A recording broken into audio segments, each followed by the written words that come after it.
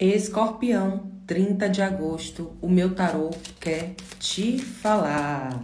Gente, os resultados do propósito rumo à prosperidade, propósito de 21 dias, já estão acontecendo na vida de muitas pessoas, tá? Mandem aí as, as para quem tá fazendo, lógico, uh, os depoimentos de vocês. Escorpião, início. Início é sempre muito bom, não é verdade?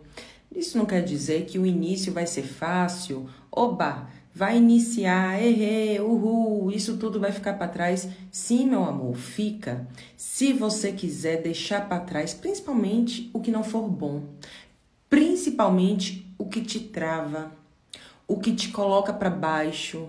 Sim, início só depende única e exclusivamente de você. Olha, fartura, abundância, realizações, felicidade e desejos sendo atendidos. É, eu gostei demais. Amei.